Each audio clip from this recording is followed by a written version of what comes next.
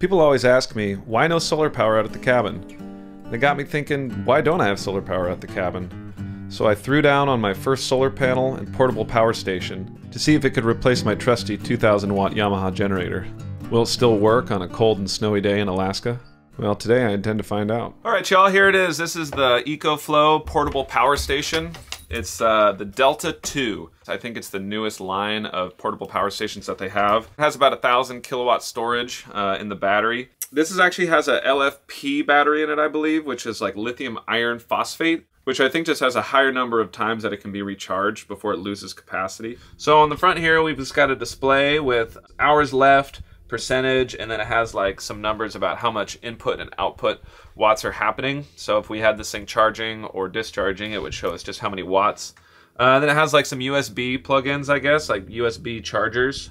Um, yeah, and then on the back, it's pretty simple. It's just a bunch of uh, power outlets. So this is a lot like my generator is kind of how I'm envisioning it, except just electric instead of having gas in there. And so it has two of the grounded three-prong outlets and then four more two-prong outlets.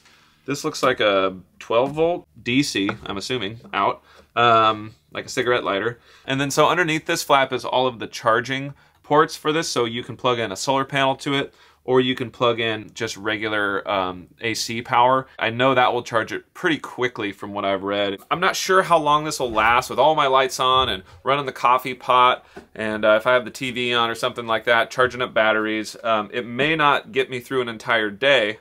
Uh, we'll see with the hookup of the solar panel. I really don't know what to expect um, in terms of the performance from the solar panel.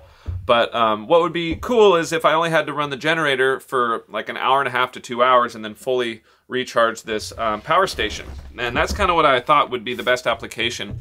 Anyway, I don't know. We'll see. I have no clue what to expect. Does say that it's rated for an 1800 watt uh, output, like a running output. It has a peak output, I think, of over 2000.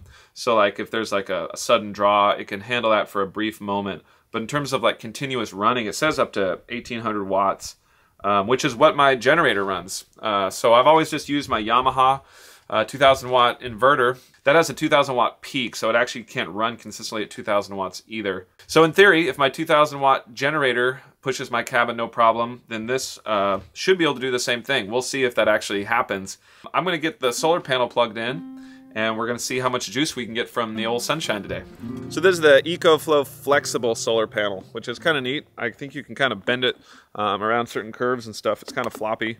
Um, it's only a 100 watt solar panel, so really not very much at all. Um, I'm not expecting to keep my cabin running at all times with just this little guy, but I'm just dipping my toe in the water. I've never done anything solar and I've always wanted to. It's just kind of taken a back seat to all my other projects, especially when my little Yamaha generator just kind of does the job so well. But I think it'd be a lot more peaceful and quiet out here without the generator running. And I also don't have to worry about running back to town and getting gas and things like that as often if I can supplement with a little bit of solar. Anyway, if this goes well, I think I'm probably going to start trying to build up my solar infrastructure out here and get some more panels and maybe a whole battery bank and inverter. I don't know. We'll see. It'll be a fun journey, but um, I'm just dipping my toe in the water. So this is step one. It's got a little 100 watt solar panel. And uh, yeah, let's plug this thing in, see if we can't find a good spot for it. One of the things you always do in Alaska is build your big windows and view south facing because that's where the majority of the sun comes across. And uh, my porch is south facing. So in the summertime, man, we really get a lot of nice light all across the horizon pointing right at the porch. Up on the roof would be a great spot for solar panels, but the only thing that I was wondering about putting solar panels on the roof though is how I would deal with clearing the snow off and um, if the snow sheds would knock them off of the roof. Just a lot of different considerations. So as we're going along, please let me know in the comments any suggestions or uh, feedback that you have. Um, I'm all ears. This is a super new process for me. But yeah, anyway, let's plug this thing in. I think it's as simple as hooking up this male and female plugs on the solar panel to the male and female plugs on the cable and then plugging it in. So I gotta say I'm uh, a little wary of super highfalutin technology stuff out here at the cabin. I like burning wood for heat and uh, engines that run on gasoline because I know how they work. But it'd be cool to get transferred over to a uh, renewable resource for energy and not have to spend so much money on gas. We plug this thing into here. And it's pretty straightforward. All right, stand this thing up, facing right at where the sun is at this particular moment. Moment of truth. turn it on and see if we're getting any juice. We have an input reading of 22 watts. so uh, not a ton. So even just tilting it back a little bit here, it went up to 25 watts. Now 26. All right, as that sun's shining a little bit more, the watts are climbing up. I'm at 32 now. It's pretty cool, man. We're officially charging with solar at the cabin. Boy, I tell you what, I can see how you could get way into this. I'm already thinking like, oh, I could do a big old solar farm right out front here with a whole bunch of panels and batteries and inverters and uh, never have to use a generator again. So I think I can have this thing running my cabin while it's charging with the solar panel. So I can be uh, having watts in and out at the same time. So the solar panel has these eyelets all around the edges. So I think for today, I'm just gonna take a string and tie them through the top ones and hang it off my post here for the porch, which is where it gets the most sun. So for those of you guys who know stuff about solar, one of the questions I have is, can you run these solar connection cables at any distance you want, or is there a degradation in power after a certain distance? So like if I had a bunch of solar panels farther down by the pond, would it be a consideration about how far that uh, cabling needed to go? Does it need to be thicker or a special type, or is it non-diminishing? Anyway, anyone who knows the answer to that question, let me know. Nothing fancy, but just a way to hang this thing up. That'll do.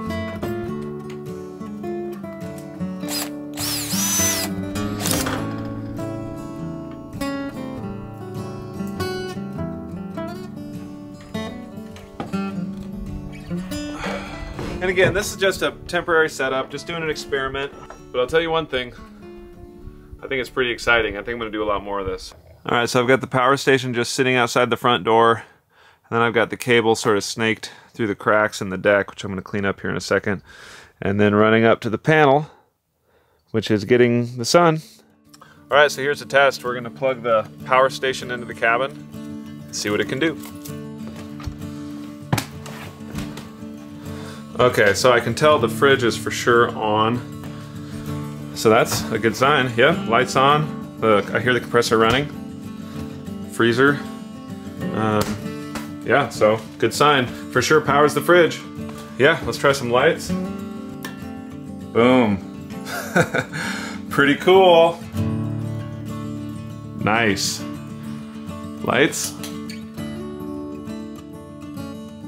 Refrigerator's running. Lights and fan are running. Try out this light over here. Pretty much the whole cabin turned on. I got another light over here.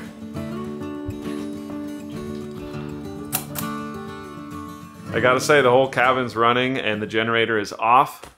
It's totally quiet out here. Now how long will the battery last with all this stuff plugged in? I don't know. We'll go outside and look and it should give me an estimate on how many hours it has left.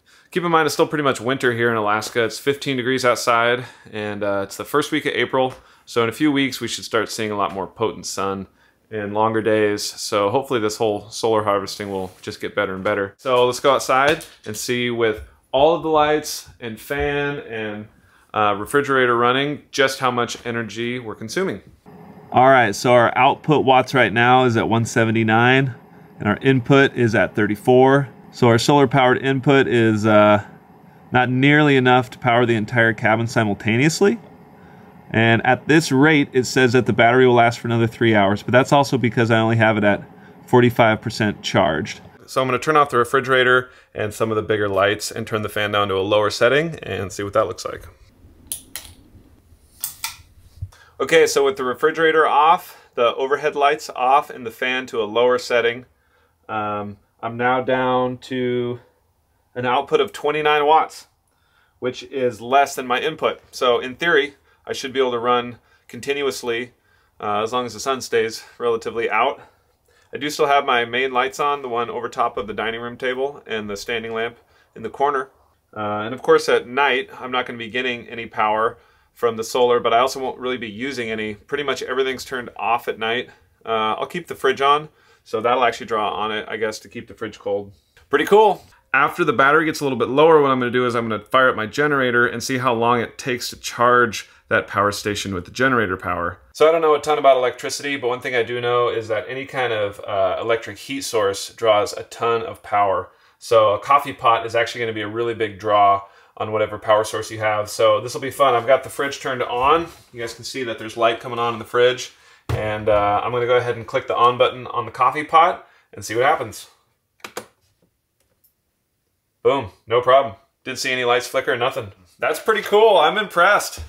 All right, so it's getting sunnier, and I don't know if the solar panel can pick up the sun's reflection off the snow, but my eyes sure can, so I have a feeling that all this snow is helping to um, draw in some extra watts on the panel. But anyway, now that it's got a little bit more full sun, now we're sitting at 60 watts coming in. So we're still not at the capacity of the 100 watt panel, but 60 watts coming in is pretty decent.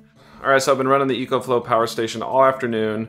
It wasn't until about, I don't know, 7, 8 o'clock that the solar um, stopped doing any charging. Um, in the amount of time that it was charging that with the fridge running and a light running, it didn't actually lose any charge. It stayed at 46% charge that whole time. The peak solar input that I was able to get was 80 watts, and that was when the sun was totally unblocked by clouds, shining right on the solar panel at about 5 o'clock in the afternoon. I did just discover something though. My oven, which is a propane oven, actually draws a lot of electricity to run, which is interesting because none of the heating elements are actually electric, but I know that it has to have electricity because of certain safety features.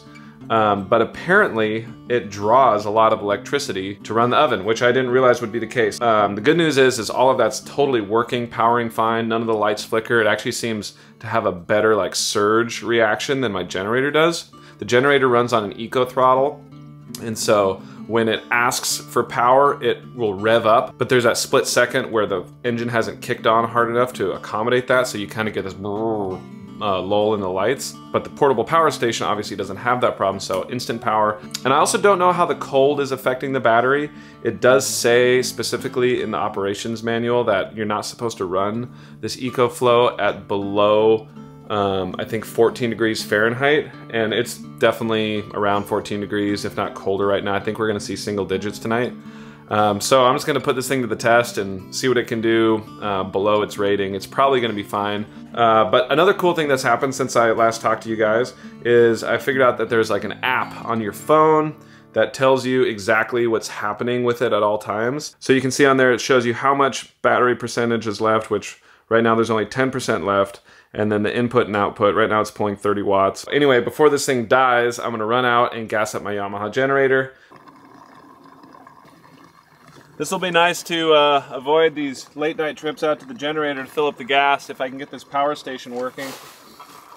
In theory, running this just for an hour or so should get me back to full charge.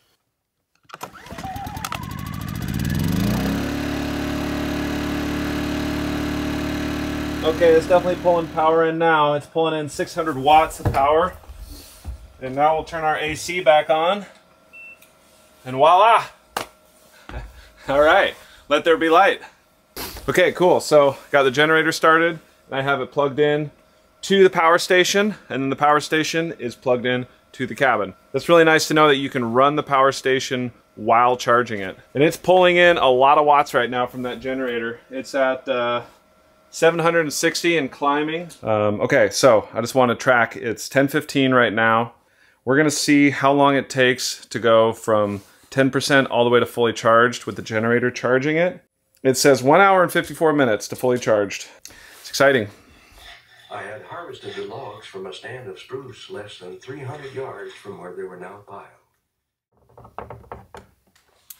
All right, good morning, y'all. So here's some numbers on what was taking the most electricity. Um, to give you guys an idea, my LED lights, uh, when I've got two or three of those on, is averaging about 30 watts. The refrigerator, when it kicks on, peaks at about 100, but then settles down to about 80 watts. The biggest draw and the most surprising one, I think I told you guys last night, was my oven. But I think, my guess is that it has something to do with the pilot light. So you don't light a pilot light in there. So there must be some sort of um, like heated coil maybe, like a, an ignition that's just like a heated coil because the only thing I could think of that would be taking that much electricity must be some sort of heating element. So if you guys know um, sort of the science of those ovens and what element of it would be causing it to draw 400 watts of electricity, please let me know. Let's see, the ceiling fan um, on its highest setting it was about 80 And then when I put it on the medium setting, it was about at 50. And then when I put it on the low setting, it actually was only drawing like five or six watts. And that's just a really low, slow um, spin. So it's exponentially more as you turn the ceiling fan up. The TV was running at about, similar to the fridge, about 80 watts, I'd say. And then uh, plugging in phones and cameras and charging things like that was a really minimal, almost negligible amount of watts coming out. This is a game changer for me. I think that having the peace and quiet of no generator running is just absolutely phenomenal. So, and I'm also saving tons of gas. All right, well, as you can see, it's kind of a snowy, cloudy day.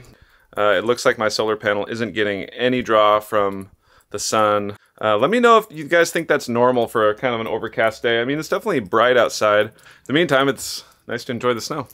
All right, so quick summary. I've been using this for about three days now and it's performed really great even out in the cold temperatures. It seemed like I could get at least 24 hours, but more like 36 hours out of one charge. Using the basics around here like uh, LED lights, my refrigerator. Uh, I, I, had the TV going last night. I watched a Dick Proenneke Alone in the Wilderness DVD. Uh, coffee pot going and the oven, charging up all my batteries, things like that. I even turned on the Christmas lights around the cabin last night. So obviously the 100 watt solar panel isn't really gonna um, do the trick out here for providing a consistent source of power. So in the last three days I've ran my generator about three to four hours, which is amazing. Um, I've really enjoyed the peace and quiet out here and I've enjoyed not having to go out and fill up the generator with gas. That's a, that's a bit of a chore that um, I would prefer not to do. This just motivates me to want to get into a bigger solar setup. But um, this is great. Like I said, I wanted to get this just so I could take it camping and be portable and just um, just figure out kind of how these things work. Please let me know in the comments what your guys' expertise is with these things, especially if you've used solar in uh, cold, dark climates like Alaska or Canada. Um, I'm really curious to know what kind of tricks of the trade you guys do and if you're able to get a charge when it's really, really cold and really dark. Pretty soon I'm going to be starting my uh, bunkhouse build as soon as the snow melts and I'm going to be uh, trying this thing out with actual power tools and seeing what it can do with like a chop saw and a circular saw. Alright, so that's all I have to say on this for today. I'll check back in on this in a couple months and let you know how it holds up. And uh, thanks for watching. Please subscribe to my channel and I'll see y'all in the next episode of Alaska Cabin Adventures.